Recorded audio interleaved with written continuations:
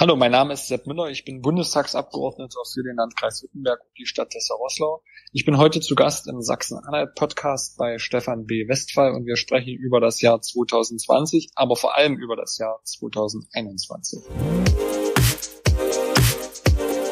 Der Sachsen-Anhalt-Podcast.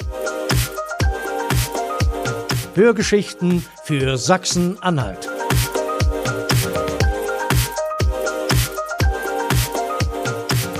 Willkommen im Jahr 2021 mit dem Sachsen-Anhalt-Podcast. Mein Name ist Stefan B. Westphal. In der ersten Folge des neuen Jahres möchte ich etwas auf das zurückliegende Jahr blicken, aber auch vorausschauen. Was wird 2021 bringen?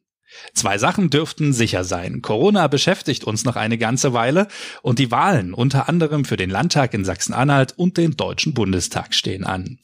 Mein heutiger Gesprächspartner sitzt Corona-bedingt in seinem Büro in Wittenberg und ist mir telefonisch zugeschaltet. Er bevorzugt im heutigen Gespräch das förmliche Sie und ist mit gerade noch 31 Jahren Sachsen-Anhalts jüngstes Mitglied der Regierungspartei CDU im Bundestag. Aufgewachsen ist er mit seiner jüngeren Schwester in Gräfenhainichen. Dort macht er auch sein Abitur, lernte Bankkaufmann und bildete sich berufsbegleitend zum IHK geprüften Bankfachwirt fort. Ebenfalls nebenher absolvierte er ein Fernstudium zum diplomierten Bankbetrieb. Betriebswirt. Seit 2013 ist er stolzer Vater eines Sohnes. Politisch trat er 2004 in die Junge Union ein und schon ein Jahr später in die CDU. Nach eigenem Bekunden schlägt sein Herz für die Kommunalpolitik. 2017 wurde er in seinem Wahlkreis, der die Stadt Dessau, Rosslau und den Landkreis Wittenberg umfasst, auf direktem Weg in den Bundestag gewählt. Und damit herzlich willkommen im Sachsen-Anhalt-Podcast, Sepp Müller. Hallo Herr Westphal, ich grüße Sie. Hi. Habe ich irgendwas vergessen aus Ihrer Sicht, was Wesentliches in der Vorstellung? Nichts vergessen, nur eine kleine Korrektur. Ich sitze daheim im Wohnzimmer. Das, oh, das ist jetzt mein Büro. Das ist ja noch gemütlicher. Genau. Also auch Homeoffice im Bundestag sozusagen. Genau, richtig. Alles digitalisiert. Da können Sie von Gott und die Welt überall arbeiten. Perfekt. äh, wenn ich jetzt aber sage, dass Sie das jüngste CDU-Bundestagsmitglied aus Sachsen-Anhalt sind, dann ist das ja aber auch nur die halbe Wahrheit bei Ihnen. Ich vermute, Sie sind auch der Größte. Darf ich fragen, wie groß Sie sind? Der längste mit zwei Meter, drei, das stimmt. Äh, an, als CDU-Mitglied auf jeden Fall. Und es gibt noch einen FDP-Kollegen, den Kollegen Köhler aus Bayern, der ist noch ein paar Zentimeter länger als ich. Ja gut, die FDP hält sich ja auch gerne mal für den Größten. Das haben Sie gesagt. Hat denn die Größe schon mal eine Rolle gespielt? Nein, überhaupt nicht. Es ist natürlich eher der Vorname spielt eine Rolle bei der Vorstellung. Sie müssen sich das so vorstellen, dass die neuen Abgeordneten alle aufgerufen werden und als dann Sepp Müller in der ersten Fraktionssitzung aufgerufen wurde und ich aufgestanden bin, hat natürlich äh, der dreiviertelste Saal nach Bayern geguckt. Da steht keiner hoch, sondern im Sachsen-Anhalt steht ein Sepp Müller auf, dann hat der ganze Saal gekrölt. Also es ist teilweise eher der Vorname, der zum Schmunzeln und zur Aufmerksamkeit führt. Und seitdem habe ich auch ein Stein im Brett bei den bayerischen Kollegen der CSU, was das ein oder andere Mal sehr hilft. Wie sind Sie zum Vornamen gekommen? Haben Sie Ihre Eltern mal gefragt, warum Sepp? Also meine Familie ist komplett Bayern verrückt, ähm, FC Bayern München verrückt. Der Opa war schon zu DDR-Zeiten Bayern München Mitglied, was nicht ganz so einfach war. Von daher bin ich der Sepp Müller geworden von Sepp Meyer. Der andere ist der Gerd Müller geworden. Und der nächste Cousin, ähm, das ist der äh, Oli von Oliver Kahn, äh, Olaf Nils, äh, kurz vom Oli Müller geworden. Genau, also ein paar Bayern-verrückte äh, Familie. Gut, aber äh, die Größe hat keine Rolle gespielt. Das Alter, nehmen die alten Hasen einen dann ernst im Bundestag? Wie verdient man da seine Sporen in der ersten Legislatur? Das ist altersunabhängig. Wenn Sie neu dabei sind, stellen Sie sich, egal ob Sie mal Staatssekretär, Landrat, Oberbürgermeister oder Jungspund aus der Kommunalpolitik sind, immer hinten an. Ähm, das ist für uns Junge eher gesetzt. Ich weiß, dass einige Kollegen, gerade auch Staatssekretäre, die nach Berlin gewechselt sind, da ganz schön zu knabbern haben, dass die sich sozusagen mit hinten anstellen müssen. Und ähm, dann arbeiten sie sich nach vorne und also das ist altersunabhängig. Eher geht es darum, wie lange sind sie schon dabei. Gut, aber, aber nach der Sepp-Nummer von der ersten Sitzung, da weiß dann auch Frau Merkel, wer sie sind. Äh, ich weiß nicht, ob sie es mit der, mit der Sepp-Nummer verbinden konnte, aber das ein oder andere Mal hat sie schon meinen Namen zumindest nicht nur nachgeschaut im Buch, sondern auch, da hatten wir uns auch im Dialog unterhalten, beispielsweise bei der Grundrente. Okay, kommen wir, kommen wir doch mal zu den Ereignissen des Jahres 2020. Man denkt natürlich immer so, Corona hat ja fast alles überschattet, aber es gab noch so eins, zwei andere Themen. Was ist denn so Ihr Resümee so ein Jahr nach der Bonpflicht? Ein Jahr nach der Bonpflicht, äh, mein Resümee. Ja, das ist eigentlich irre, was wir da machen. Ähm, Gott sei Dank, insofern kann ich das von mir weghalten, äh, weil ich es nicht beschlossen habe, aber natürlich bin ich da in Geiselhaft. Ähm, also einerseits umweltschädlich ohne Ende und andererseits äh, fragen sich selber, Herr Westphal, an wie viele Dönerständen haben Sie einen Bon bekommen das letzte Mal, als Sie sich einen Döner geholt haben, wenn Sie einen Döner kaufen? Also genau die, die wir kriegen wollen, die kriegen wir halt nicht. Das ist das, was mich tierisch aufregt. Und wir haben jetzt eine kleine Krücke äh, hinbekommen mit dem Thema Digitalisierung, also dass ich mir das per App sozusagen rüberschicke. Ähm, das machen auch einige. Ich weiß auch, dass Bäcker jetzt mittlerweile umgestellt haben, aber es ist trotzdem riesen Irrsinn und die, die wir kriegen wollen, die kriegen wir halt nicht. Die auf Deutsch gesagt, äh, behumsen den Staat weiterhin, denn das macht mich so wahnsinnig. Und es ist ja auch extrem schwer, das zu kontrollieren. Ne? Also das ja gut, das sollte halt durch die Bonpflicht, äh, das Argument ist ja, gerade auch vom Koalitionspartner, der damals da gedrängt hat, das einzuführen, und das ist auch nicht von der Hand zu weisen, mit der Bonpflicht bin ich ja gezwungen, auch es einzubuchen und den, den Bon sozusagen dem anderen mitzugeben, auch wenn er sie nicht haben will. Ähm, und der andere kann ja immer einer vom Finanzamt sein.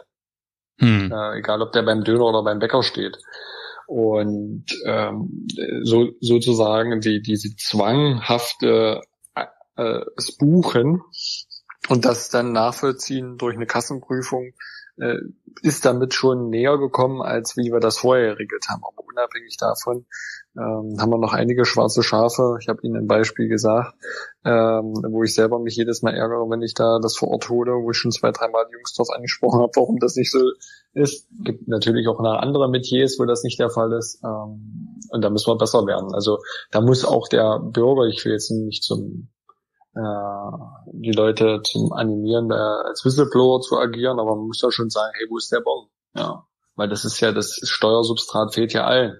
Das fehlt den Kindergarten vor Ort, weil sie, äh, Umsatzsteuerpunkte gehen auch an die Kommunen.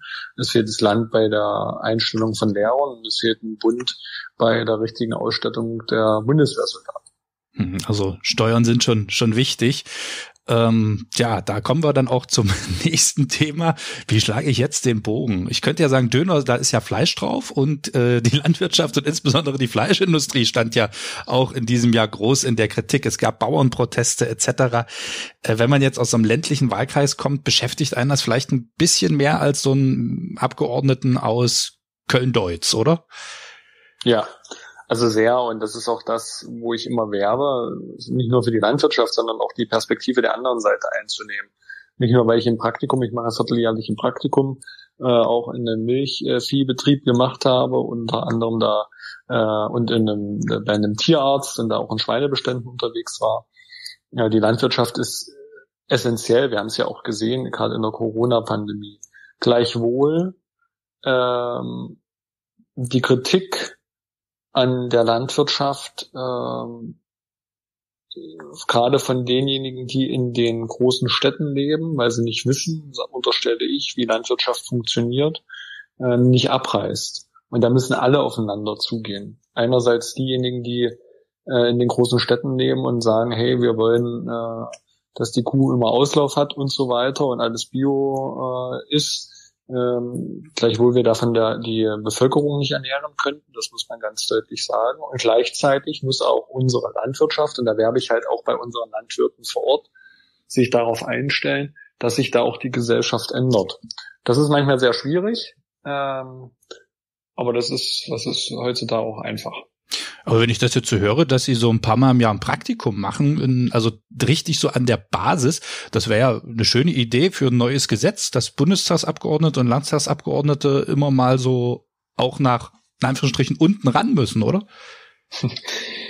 Ich glaube nicht, dass das mit der Verfassung vereinbar wäre, weil wir sind ja frei in unserem Mandat und das definiert auch jeder Abgeordnete für sich selbst. Aber warum ich das mache, hat genau diesen Grund. Wenn ich mich jetzt zum Beispiel bei einem Unternehmen anmelde zum Gespräch mit einem Geschäftsführer, dann geht das anderthalb Stunden. Ich höre eine Stunde und 15 Minuten, wie schön alles ist. Ähm, zehn Minuten lang wird äh, über das Problem eigentlich gesprochen, wo man auch die Politik kritisch sieht und äh, die nächsten fünf Minuten wird es aber gleich wieder abgebunden und mir alles Gute gewünscht und alles äh, viel Erfolg. Und wenn Sie dann den ganzen Tag zum Beispiel bei der Müllabfuhr mitfahren, im Kuhstall sind, äh, beim Tierarzt unterwegs sind, dann bricht dann so gegen die Mittagszeit derjenige wirklich auf, im positiven Sinne, und, und das will ich halt auch und sag dir, ähm, wie die Gesetze ankommen, die wir vor Ort machen. Du kannst dich erklären. Ähm, das ist mir tausendmal lieber ähm, als solche äh, Gespräche mit der obersten Führungsriege, ähm, wo ich sowieso einen Großteil eh nur Honig ums Neue geschmiert kriege. Das hat ja so ein bisschen was von Undercover-Boss, ne? so. das stimmt. Das okay. Stimmt. Aber Sie machen ja noch viel mehr Aktivitäten. Vielleicht können Sie ja da noch ein, zwei Sachen sagen. Sie, Sie setzen sich auch gegen den Klimawandel ein, also mit Bäumen. Und Sie waren jetzt bei Corona auch sehr aktiv. Ja gut, also Klimawandel ist ja das ja 100 Thema, wenn wir das nicht in den Griff kriegen, äh, da haben die jungen Menschen recht und jeder sieht das auch vor Ort, dann werden wir eine veränderte Welt haben, wenn wir sie überhaupt noch so haben, dass wir darauf leben können in hunderten von Jahren. Uh, und deswegen müssen wir das begegnen. Und ja, es ist, das ist so ähnlich wie mit der Landwirtschaft. Uh, das sind vielleicht auch die gleichen, die da gegensätzlich zueinander stehen. Das sind junge Menschen, die 14, 16 Jahre jung sind, die anders als ich uh, keine 100 Bewerbungen schreiben mussten, um eine Lehrstelle zu kriegen, sondern die rein theoretisch alles, sich alles ausruhen können, also die keine wirtschaftliche Not kennen und Vorschläge machen, die auf einer anderen Seite ähm, denjenigen auf die Füße fallen, die sich äh, die Wirtschaften, die sagen, Leute, äh, wir können nicht alles kaputt machen, wir können nicht nur Verbote machen, wir können den CO2-Preis nicht äh, nach oben schrauben. Und da war es mir halt auch wichtig, mit Fridays for Future mich zusammenzusetzen, nicht von oben herab, sondern gemeinsam Vorschläge zu machen. Das waren über 50, die habe ich unserer Parteivorsitzenden auch übergeben. Eigentlich sollte es einen Nachhaltigkeitstag geben, der ist aber Corona-bedingt ausgefallen, um diejenigen einzuladen. Und eine Idee war gewesen, Bäume zu pflanzen. Und das habe ich dann mal gemacht. Äh, das hat angefangen mit 500 Bäumen. Äh, da war ich dann auch etwas empört, weil die jungen äh, Damen und Herren da nicht dabei waren, war, sage ich auch selbstkritisch im Nachgang, sicherlich kurzfristig angemeldet. Und als wir dann 5000 Bäume im Dessau-Wörlitzer Gartenreich gepflanzt haben, waren die dann dabei. Da waren über 200 Menschen dabei. Wir haben, da hat sich das wirklich so selbst organisiert. Äh, die Leute kamen, haben Essen gegeben, ein Rentnertreff, äh, äh, die haben Kuchen gebacken gehabt, weil sie sagten, Mensch, wir sind zu alt, wir wollen da in dem Leben wohl nicht mitmachen. Das war auch recht anstrengend. Und dann haben die Kuchen gemacht und man kam auch miteinander ins Gespräch. Man konnte auch mal die Argumente austauschen. Und das ist eben doch das, was ich machen will, äh, dass wir nicht mit dem Finger schöpfen können und jeder auf seinen Standortpunkt beruhen kann, um die Welt zu ändern, glaube ich, ist in der Demokratie auch jedem klar da müssen wir alle aufeinander zugehen. Ja, und beim Thema Corona, ja, da ist es so ähnlich. Wissen Sie, ich bin ja aus dem Landkreis Wittenberg. Wir hatten teilweise die höchste Inzidenz im ganzen Land. Äh, Sachsen-Anhalt, wir grenzen an Brandenburg, wir grenzen an Sachsen. Sie wissen, was da los ist. Die Krematorien schaffen es nicht mehr. Die müssen die Toten äh, in den Süden von Sachsen-Anhalt bringen, um äh, verbrannt zu werden. Und äh, deswegen habe ich gesagt, ich will mitmachen und war äh, in der Weihnachtswoche dann äh, im Gesundheitsamt in Wittenberg und habe die Kontaktketten nachverfolgt. Mit äh, meinen Mitarbeitern habe ich das auch freigestellt und gebeten, mit hinzugehen. Das haben dann auch drei getan und jetzt machen wir im Januar weiter. Also ich demnächst dann auch wieder da, gerade übers Wochenende, wenn etwas weniger vor Ort ist, damit wir die Kontaktketten brechen können. Okay, also Corona auch ein bestimmendes Thema. Nächstes Jahr stehen die Wahlen an. Und zu Corona kommen wir gleich, aber erstmal zu Ihnen die Frage, kandidieren Sie wieder? Und wenn ja, unter welchem Kanzlerkandidaten und unter welchem Parteivorsitzenden in Land und Bund? also ich kandidiere wieder äh, als direkt äh, Abgeordneter für den Landkreis Wittenberg und die Stadt Dessau-Rosslau. Ähm, unter welchen Kanzlerkandidaten, das kann ich Ihnen nicht sagen. Die Unionsparteien und Spitzenpräsidien haben sich darauf geeinigt, das erst im März festzumachen. Sie wissen ja, dass wir jetzt äh, in der nächsten Woche, ich bin auch Delegierter, den Parteivorsitzenden wählen werden. Also ich gebe mal äh, eine Prognose raus. Es wird jemand aus Nordrhein-Westfalen und es wird ein Mann. Mhm. Ähm, Aber ist das nicht schon fast prophetisch, wenn der Kanzlerkandidat sogar im März gekürt wird? Weiß ich nicht. Äh, ich kann Ihnen das nicht sagen, ob es da eine Märzrevolution 2021 geben wird. Gut. Ähm, so viel Glaskugelei. Und beim Land ist es ja ähnlich. Da hat man sich jetzt auf Juni geeinigt. Äh, ich höre und nehme auch zur Kenntnis, dass unser Generalsekretär Sven Schulze äh, nicht nur Ambitionen hat, sondern meines Erachtens nach auch sehr an der Partei verwurzelt ist ähm, und auch so die ein oder andere Krise in der Landespartei hat gemeinsam mit überstanden. Und deswegen ist es auch, glaube ich, derjenige, der da ähm, auch als junger Mensch sich ja, mit anbietet, um auch äh, diese Landespartei zu führen. Wir sind ja wie alle anderen Parteien in stetigem Wandel ähm, und konkurrieren untereinander und mit anderen Angeboten auch. Und es wird halt äh, nicht einfacher, Menschen zu gewinnen, sich politisch zu engagieren. Siehe ja auch Fridays for Future, siehe Landwirtschaft und so weiter. Es sind ja viele Partikularinteressen. Wenn man dann so eine Volkspartei hat, wo man das versucht, alles untereinander unter einen Hut zu bringen, dann ist das nicht immer einfach. Wie wird denn der Wahlkampf unter Corona aussehen und welche Themen werden dominieren? Also Corona wird dominieren. Äh, es wird im Juni äh, die Landtagswahl ist ja dann die Frage, wie geht's dann weiter? Ich gehe davon aus, dass wir dann beim Impfen einen großen Schritt vorangekommen sind, vor allem wirtschaftlich und dann auch finanziell. Wir werden bis dahin, leider Gottes, es ist nicht zu vermeiden, einige Insolvenzen sehen. Ähm, dann ist die Frage, wie gehen wir damit um als Gesellschaft mit Menschen, die 30 Jahre lang, wie wir mal bei uns das Land nach der Wiedervereinigung wirklich alles aufgebaut haben, Friseurbetriebe beispielsweise, Kosmetikbetriebe, die durch staatliches Handeln trotz aller Hilfsmaßnahmen es nicht schaffen, ähm, den Laden aufrechtzuerhalten. Das wird eine große Herausforderung werden. Wie gehen wir mit denjenigen um, die Kurzarbeitergeld bezogen haben, die äh, Einschnitte haben? Wir wissen aber gleichzeitig auch, dass die Leute natürlich gespart haben, weil sie in Urlaub fahren konnten. Ich glaube, dieses Binnenkonjunkturthema, das wird sich ausgleichen. Und wie werden wir dann die Wirtschaft zukünftig aufstellen? Ich glaube, das wird eines der entscheidenden Themen sein ähm, mit dem Thema Klimawandel, weil wir wissen ja, wir sehen es in der Automobilindustrie, es ist ja eine erdrutschartige Bewegung, Gott sei Dank äh, jetzt auch in der Automobilindustrie gekommen, äh, hin zur Elektromobilität, hin zu erneuerbaren Energien. Ähm, und das müssen wir halt begleiten, um auch die Wertschöpfung hier zu halten. Ja. Bleiben wir mal kurz beim, ah, sorry, kurze Zwischenfrage, bleiben wir beim Auto. Welches Team sind Sie? Team E-Auto oder Team Wasserstoff? Wasserstoff. okay, gut. Ja, wenn man, wenn man jetzt Corona so hört und Hilfspakete, äh, wurde ja schon viel geschnürt, wurde viel Geld ausgegeben und es gibt ja diesen alten Schlager, wer soll das bezahlen? Ja, das ist eine vollkommen berechtigte Frage und es gibt auch schon die ersten Hochrechnungen. Wir können dann rein theoretisch, wenn wir das Wirtschaftswachstum wie vorher wieder erreichen, aus den Schulden herauswachsen. Das hatten wir ja die letzten Jahre auch. Äh, jetzt kommt der Finanzer durch, ich muss aufpassen, ich bin Mitglied des Finanzausschusses, dass es nicht zu technisch wird. Ähm, heißt also, durch das Wirtschaftswachstum sinkt die Schuldenquote. Klar, wenn ich äh, 100 Euro BIP habe und, am, äh, und eine Verschuldung von 50 ähm, BIP ist das Bundesinlandsprodukt für alle, die gerade genau, genau, ist das Bundesinlandsprodukt und eine Verschuldung von 75 Prozent, also ja, dann äh, und ich zukünftig ein Bundesinlandsprodukt von 200 habe und weiter eine Verschuldung von 75 äh, von 1000, dann ist das prozentual natürlich deutlich gesunken. So, das bedeutet, wir würden es schaffen, wenn wir Wirtschaftswachstum generieren. Und das ist das Thema, warum ich sage, das Wirtschaftsthema wird eines der entscheidenden sein.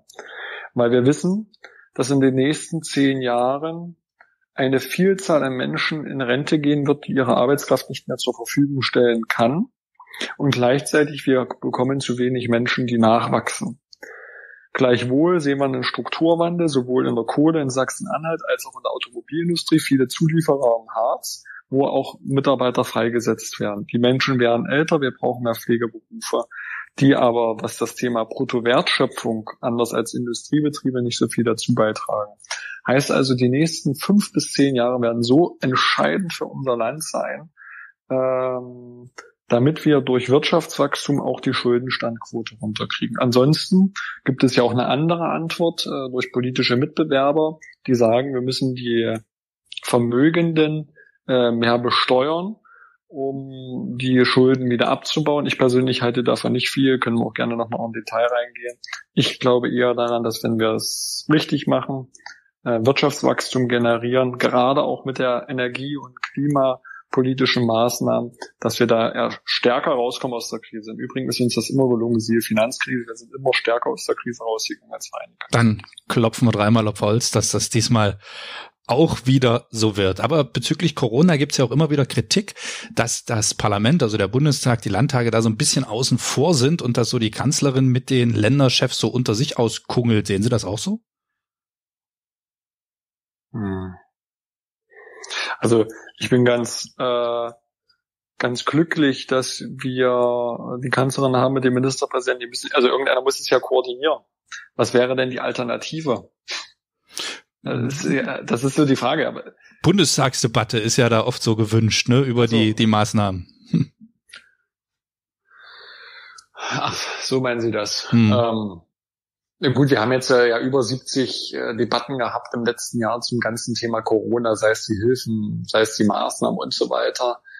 Aber in der Pandemie, bei allem Respekt auch, äh, ich gehöre selber diesem Verfassungsorgan an, Bundestag, ähm, da helfen Debatten nicht. Ich sehe das, wie schnell die Infektion äh, in die Familien eingetragen wird. Da müssen Entscheidungen getroffen werden. Und deswegen haben wir als Parlament ja auch mit der Hilfe von äh, Verordnungen die Regierung befähigt, auch Maßnahmen zu treffen. Und darum ist die Kanzlerin diejenige, die das zusammenbinden muss mit den Ländern.